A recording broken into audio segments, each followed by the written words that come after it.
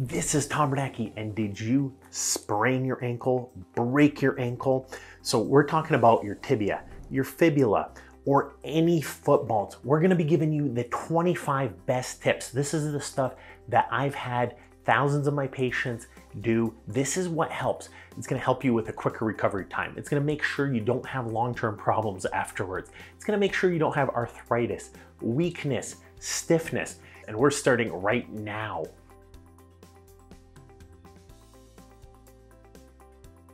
So when you sprain your ankle or when you break your ankle, the number one most important thing you need to do is get the proper diagnosis. I see people suffering for months and months and months with the wrong diagnosis. They have a lot of pain. It's not normal to suffer with a foot injury for more than three to six months or so.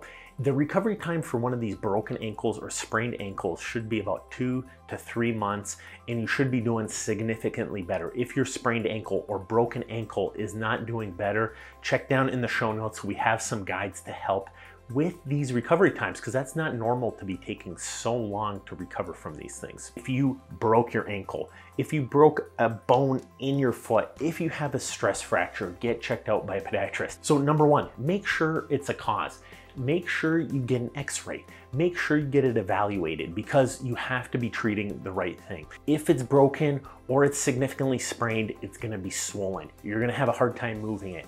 It's gonna look like a grapefruit. It's gonna be swollen around the ankle. The nerves will hurt. They will throb. For the first few days or a week or two, you will have a lot of pain. You're not gonna be able to put a lot of pressure on it. The recovery time is, I usually tell people for the first two to three days, you can't tell anything at all. Your nerves throb, they ache at night, everything's swollen. As about a week or two go by, this swelling starts to calm down. Really, this period's about one to two weeks on average. Now, the bone healing, if you did break a bone, it takes about, I always tell people on average, six weeks for the bone to heal uh, about 50%. So it takes six weeks of protecting it. And most people don't protect it properly, so that's the problem. But if you protect it properly by about 12 weeks, so that's three months, we're talking like 75% bone healing.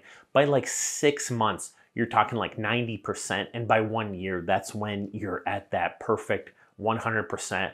But the beauty is, you need to rehab those tight sore muscles. You need to get that flexibility back, that soreness. So that's a long time to recover. So we gotta make sure that you're doing all the right stuff during this time period. So at the beginning, number one, when you go see your doctor, you might need medication. So that first day or two of broken foot or ankle are brutal. They are throbbing, they are aching. So you might need some pain medications. Now, if you don't wanna do that, anti-inflammatories like uh, ibuprofen or Aleve can be good. Now, there's some studies that say that this anti-inflammatory can slow down your bone healing. Realistically, we're talking like a tiny little amount. And if that means you can sleep the first day or two, do that. Um, I would always recommend get your pain under control. Most people are not going to get addicted with a day or two, but if you're okay without the pain medication, go without it. Medications never uh, helped if you don't need them. Rest. Make sure you rest it at the beginning. Don't walk on your foot. Don't injure it. Let that swelling get down. Ice. For 20 minutes at a time, you can put ice on your ankle or the broken bone area. It will cool that pain down. So 20 minutes, a few times per day. Don't leave it on there overnight because you'll freeze your skin and you could cause like freezer burn on your leg. Don't do that. These pain relief ice uh, compression devices, you know, you put some ice in there, uh, you can put some water, you can pump this thing up. These have great ratings. You can see right there. People really enjoy them. But again, can an ice bag do this? And can elevating it on a pillow do this? Absolutely. If you have a ton of money to spend and you want to do everything possible to get better quicker, this could be a helpful device. Compression. At the beginning, an ACE wrap can be pretty good. You can wrap the ACE bandage around your ankle. You can do that very gently. You know, that's not the most important thing in the world, but it can help. There's something I do in clinic called an Unna So I gently apply it so all that swelling calms down and you can really get that initial recovery time. That's one thing you can do to help the recovery time a little bit earlier is that compression. And then elevate. You know, when you're laying at bed at night, put it up on your pillow and if it's higher than your heart, the swelling will come down out of the ankle, but the fact that you broke it, it will swell. You're not gonna get rid of it completely. Can you drive? The official answer is no, but the reality is if you're wearing a boot or a cast, and you can't bend your ankle to push on the gas pedal, it's not a good idea to drive. But if you are not wearing a boot, and or if it's on your left foot, then you probably can drive. Um, legally here in our area, I talked to some police officers and uh, some attorneys about this. The reality is it's kind of a gray zone. No one can determine exactly how injured you can be, but if you don't feel safe uh, driving and there's nothing restricting your foot, and I've had hundreds and hundreds and hundreds of patients do it. I've never really heard of anybody getting in trouble, but technically it's a gray area. And if you want to be safe, don't do it. And I'm not a lawyer, so don't take that as legal advice. Can I walk on my ankle? The answer is depending on the break, um, you can, but if it's an ankle, if it's your leg, probably not a good idea to walk on. Now, what is really important is products. So usually I don't push the products, but in this case, um, you know, if you get a surgical shoe or crutches, these things suck. People tilt over, they get hurt all the time. What you wanna do is get yourself a good knee scooter or an iWalk or a wheelchair if needed, and I'm gonna show those to you now.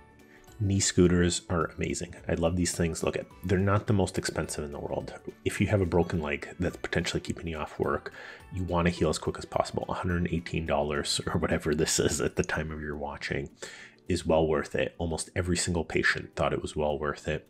So the reality is you can use it to get around inside the house. It's easy to maneuver. They can pack up, fold up into your car. You don't have to go extreme unless you're, you know, 300 plus pounds. These are great devices right here that can work really well. The iWalk can be very effective. Realistically, I don't have a ton of patients that use these. You can see the rating is pretty good, but not great. Some people rave about it. They love this thing, but other people, they're like, hey, doc, I fell over. So just be aware if your balance isn't great. Some people love it, especially young patients, like my 20 year old patients. They love this thing.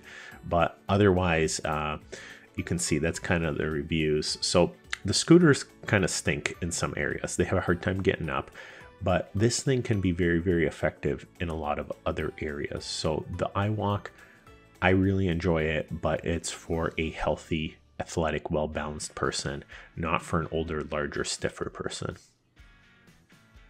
Depending on your mobility, look at a wheelchair is not that much more. It's actually cheaper than the iWalk. You know, you can get some on sale. And so if you need one and you have a family member that has a hard time getting you around, get the wheelchair. These can be very, very effective. Make sure you measure it for your size. See, this one's about 250. If you're larger, you might need more. Uh, but consider the wheelchair. You know, it's a very strong option. Crutches in general, you can see the nicer, well reviewed ones right here are actually more expensive than a knee scooter or an iWalk. Yeah, you might need them, but in general, the cheaper crutches that you get the ER are horrible. They hurt your armpits. Nobody actually uses them. They lead to a ton of re-injury, in my opinion, and from what I see.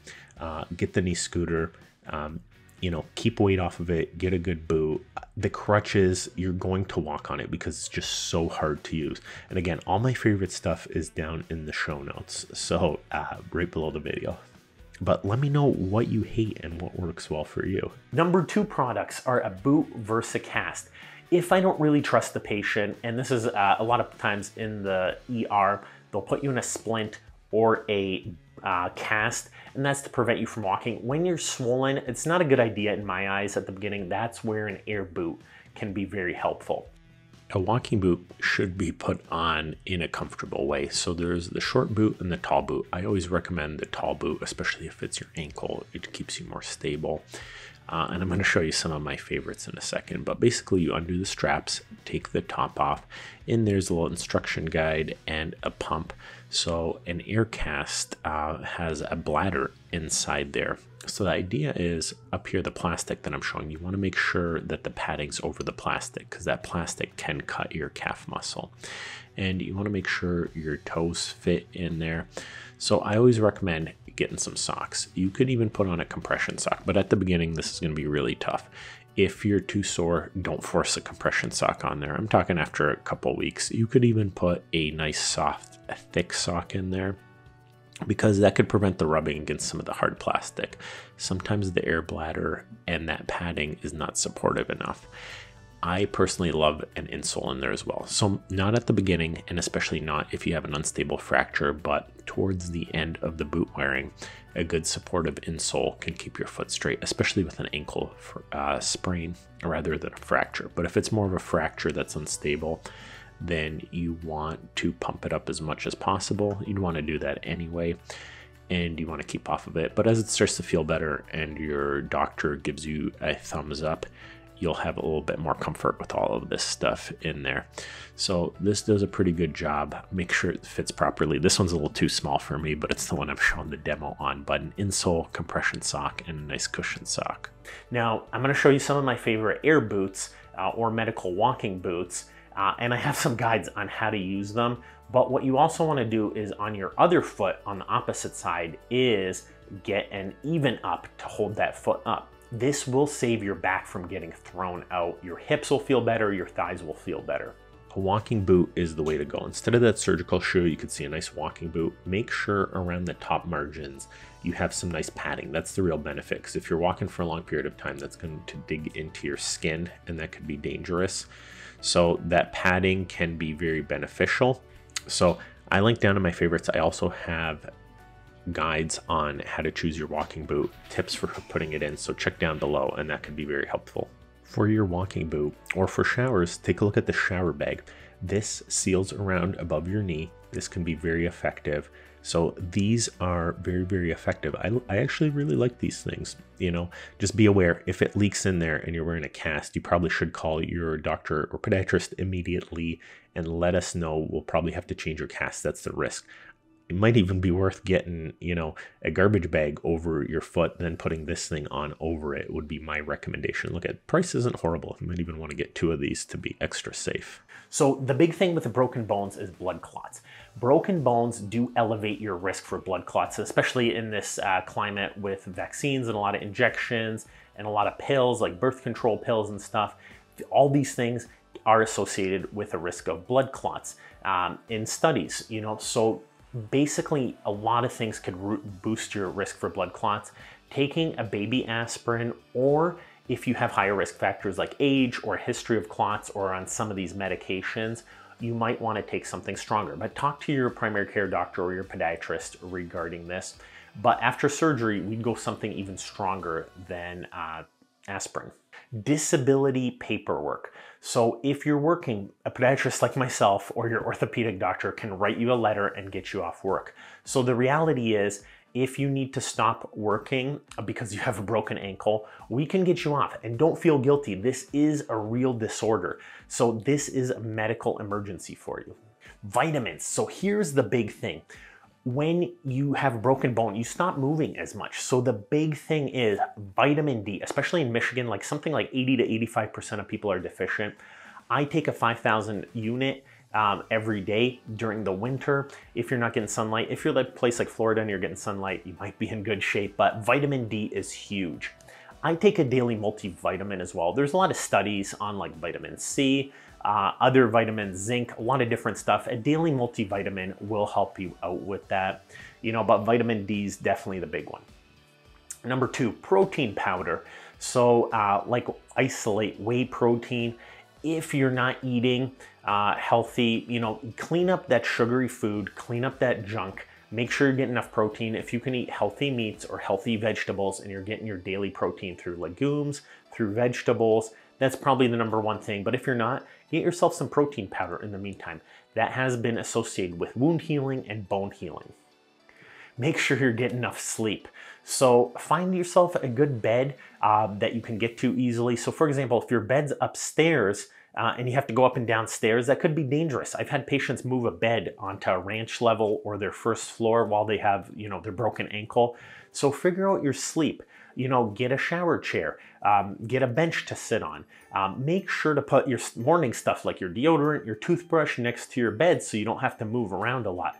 Make sure you have like a Netflix subscription or Amazon Prime subscription so you can watch some movies. I'm watching some good ones right now. I'm into the new Lord of the Rings show. I think the new uh, prequel to uh, Game of Thrones is pretty good too, but that's wasting time. That's not a tip. Although, make that tip 26. As that initial six weeks go by, you want to get yourself an ankle brace. So ankle braces are great. I like number one, compression braces, and number two, lace up ankle braces. Uh, these are very, very good. I go over my guide for best ankle braces, but at the beginning you want something stiffer, like a McDavid lace up ankle brace, or uh, stuff down in the show notes are my favorite. I won't spend too much time on that here. So ankle braces can work really well too. Once you start getting out of the boot, using one of these, uh, I always like the Zenith brand right here. You could see a lot of great reviews. Uh, you know, as you start working through these, I like McDavid as well. McDavid's fantastic. So these lace up ankle braces, make sure you have a roomy enough shoe. Uh, you can put your foot in it on top of an orthotic and a shoe, they will hold you pretty stable. They're not quite as good as a cast or a boot, but once you get to that four to six week range and your doctor gives you the okay, these ankle braces can be very, very effective. And down below, I link my favorite ankle brace uh, recommendation guide. These are considered ankle braces, but realistically, see something like that, that's pretty good, like one of those plantar fascia socks or these types of braces. Like, look at this $13 for ankle compression. Um, once like six weeks or so go by, this is a very good choice. You know, these are very well reviewed. I would probably get something like this at about, you know, as you start going past that initial couple weeks of pain, uh, compression socks can work really well. Compression ankle socks. So I love compression socks. So at like six, seven, eight weeks, compression socks can be really good at keeping that swelling down. Take a look at these compression socks. There's little ones uh, there's dressy ones. Uh, then there's the 20 to 30 millimeter one. So take a look at these. These are 20 to 30 millimeters of mercury right here. That's probably stronger than you need. And you don't really need a prescription for these because take a look here. I'll save an extra 5%, but already $15 for three pairs. That's a pretty good deal. It's like $5 per pair. That'll easily, one time buy, get you through everything. You don't need a prescription really. So you can tell right here, these are great compression socks. You can even get them a little bit weaker. I would recommend getting them weaker to start with. You can see there's also a lot of women's pairs right here. So these are pretty nice looking socks. You don't have to go quite 20 to 30 millimeters of mercury. You could go a little bit weaker, like 15 to 20 is probably a better range, like right here. That's probably a little bit more comfortable, and I would recommend starting with that. Great shoes, great orthotics. Let me show you something. So take a look here. When you walk, look at how much your foot collapses. But in an orthotic, look, it's not collapsing at all. Not collapsing there, but watch this. Look at how much that collapse. Your ankle has to twist. That's called overpronation. An orthotic will cushion you and stop that overpronation. So at the beginning, you wanna wear a maximalist shoe like a Hoka or something like a Brooks Beast. My favorites are down below, a Brooks Ariel for women and then you want to get an orthotic in there. And then you want an ankle brace on top of that. But great shoes, great orthotics, that's going to make a big, big difference. And it forces you to walk straight so you're not adjusting and taking pressure off your legs. That's a big recovery time during that 6 to 12 week process. These Hoka shoes are considered recovery shoes. This price is a little bit outrageous, but down in the show notes, you'll see some different prices that can be a little bit better. Uh, but basically, this is considered a great recovery shoe. It's very cushioned. You can see just how much foam is there. That's an that's an insane amount of foam in there. And you can see they have a lot of different colors and stuff, so you can see what those look like. But Hoka is a great recovery shoe. So you can take a look at these two. These are called Brooks Beast. They're a little bit expensive, but I'm currently wearing these right now. This is a great supportive shoe. So if you like Brooks, Brooks are amazing too. I'm a big, big fan of the Brooks Beast. Adrenaline is pretty good as well. You can see ratings are excellent. The Brooks Ariel right here. This is the woman's version of the Beast. So very, very supportive shoe. You can go on the Brooks website as well or your lo local running shoe store. That can work out really well. Home slippers are really effective as well. So I'll show you my favorite home slippers there. So OOFOS, Hoka slides, these are considered recovery sandals you can see right here, you know, I guess they have the knockoffs of the Hokas, but you can see these are a little bit overpriced. But what happens is go on the Hoka website. Don't get them off Amazon. They're like 55 bucks on the Amazon website. These are some pretty good supportive sandals as well. Uh, if you look up the brands, um, Spenco, Vionic, these sandals can be really good. But something very, very well cushioned like this can be extremely effective in your recovery phase. The next one is you want to see your podiatrist. So keep following up because at the beginning, the emergency room is just going to give you a boot until you're a little bit better. But what happens is when I look at your hips, your knees, your calf muscles, your hamstrings, your lower back, you're going to be off balance because you're going to be favoring one foot. Your calf will be weaker, your ankle will be weaker. This is the key right here. Whenever somebody hits that six to 12 week mark and they're not following up with their podiatrist regularly, they start to get stiffer. They start to develop scar tissue from not moving those muscles. I see this so, so commonly. Broken feet, broken ankles, broken legs, broken hips, broken knees. This is really where podiatrists come in handy. You know, the emergency room can diagnose and x-ray that initial fracture, but where I see people are those chronic problems that are not getting better. What I'm showing right here is a frozen water bottle. So right here, I use the frozen can. Be careful not to freeze a can because that can explode on you. But I'm just rolling it on my tight ligaments on the bottom of my foot, the tight ligaments on my heel, the back of my heel. This is a frozen ice bottle. So it's called a cryosphere. Not the greatest for the foot, which is what I'm showing here, but it's actually pretty good for your calf muscle, for your hamstring. You can use these rubber balls with soft rubber spikes, and you can stand on this. I'm showing you just with my foot right here, but you're to get stiff through your arch, through your calf muscle. So I'm just showing a couple different ones, but the idea is here, you're to be sore, you're to be stiff. There's going to be a lot of scar tissue built up in your arch. So gently massage it, ice it, and then do a gentle stretch to loosen it up. The thing is, you're going to be very stiff, you're going to be very tight, you're going to be very sore to start off your post rehab process. So once you get out of the boot, you have to gently massage and you have to gently stretch. So you can use a towel or a stretch band. These can be extremely, extremely effective. I'm a big, big fan of doing these as it can get you great gains in the first six to 12 weeks. The next thing you want to do is you want to identify the tight, stiff, sore muscles. And the first thing you want to do is pain control. I'm not just talking about medications, I'm talking about creams. So you want to put anti-inflammatory creams like Voltaren on there. You want to put Biofreeze-like creams. Loosen up those sore muscles. And as that pain goes down with icing, with creams, you can start to flex it and move it better and you start to get more equal. If you were to run immediately coming out of your boot, you would look like this. See how these ankles are buckling in and these feet are turning out? This is a stiff hamstring, stiff calf muscle. This is usually what I see immediately after someone has come off of an injury or has had stiffness for a very, very long time. You're not going to get a lot of relief just starting to walk around normally. But take a look at this guy. He's flexible through his hips, his hamstrings, his calf muscles. See how the feet are pointing straight? They're not twisting out. The knee is not twisting in. This is where you want to get to. You want to be perfectly symmetrical. So take an example here. The left foot can't bend up as much as the right foot. See that difference? So it has to twist out. See that external rotation there? That's what you want to avoid. See the right foot's turning up here? The right foot can bend past 90 degrees, and that means the hamstring is going to be looser too. See that difference right there? So the left foot is going to have to turn out, throwing my body weight onto the right foot. So when you get up in the mornings, you want to loosen up. So see, I rotate my ankles a little bit, get that blood flowing. That's why your feet, ankles, hips, and calf muscles hurt in the morning. You want to warm them up. You want to put some creams on them. You want to massage them. And I'll show you some massage in a little bit.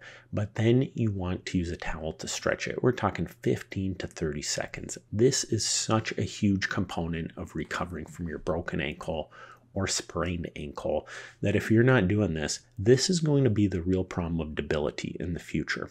You know, so another thing you want to do is see stretch kind of your butt muscles, your hamstrings. So uh, this is a more advanced thing. If you have a back problem, don't push against your knees. You know, start out gently, start out with some physical therapy. But the idea is you want to stretch your plantar fascia your hamstrings, your hips. So see right now I'm stretching the inside of my thighs. That's my groin muscles. This is something called an ankle slant board and I linked to some of them below, but see right here, this starts at 15 degrees. And see, being able to touch the ground there, that's 15 degrees, but right there, that's now 20 degrees. So maybe after one week of, you know, massaging, loosening up using creams, I loosen up there, now I'm up to 25. Now week four, maybe I'm up to 30 degrees. See the progress I'm making? And now maybe I'm at 40 degrees. See the bend through my ankle there? That's the point you want to get to, make progress. The next thing then is, as you start to maneuver a little bit better, what starts to happen is you can start to massage. So I love to use a massage roller stick, a foam roller, a massage gun, uh, a foot massager. All these things really help. After your pain is relieved, there's a lot of evidence towards massaging. So I like foam rollers. You know, these are like $10 on Amazon or your local Walmart. So to get your glute muscles, so the top of your hamstrings or your glutes, I like to just roll like this while I'm watching TV. So see, I'm getting all those thick knots out of my hamstring right there or my butt muscles. This is really where I like that foam roller. I don't like it on my lower back and for that's for the butt and for the hamstring. I love the massage roller stick so for the outside of my calves my calf muscles my hamstrings the massage roller stick is amazing. I really like this thing. It's really cheap. Most people can afford this thing.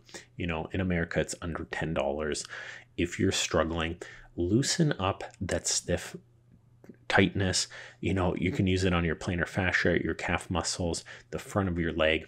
If you want to use gravity, see, I'm showing you this uh, here uh, bent over, but see, standing, you can just use your foot and lean your body weight. It shouldn't bruise up, but we're talking like 30 seconds, loosen up that fascia. And then as your pain's gone, as your stiffness is gone, and what happens is if you're having a hard time, if for example you tore your Achilles tendon, if you have stiffness through your ankle that's just not getting better, I love to use shockwave therapy. So I'm a huge, huge fan of shockwave therapy. I had a guy who ruptured both Achilles tendons and he was going to some of the best surgeons in the world. And realistically, he wasn't loosening up. He did rounds of physical therapy, but I did shockwave therapy on the lumps and scar tissue in his Achilles tendon. Within three to four months, he loosened right up. He was hiking again. He was wearing the right orthotics. He was stretching. That's how big of a difference it can make. And then strengthening everything. I love Pilates. So Pilates are excellent. So there's a lot of great Pilates courses up there, but as you start to get your flexibility back, start to strengthen a little bit as well. That can make a big, big difference. And then the last thing you want to do is keep following up your podiatrist. If you're in the Michigan area, come see us. We'll get you time off. We'll write you scripts. We'll get you handicap parking passes. And that's one thing I forgot to mention is get yourself a handicap parking pass. A podiatrist can fill that out for you.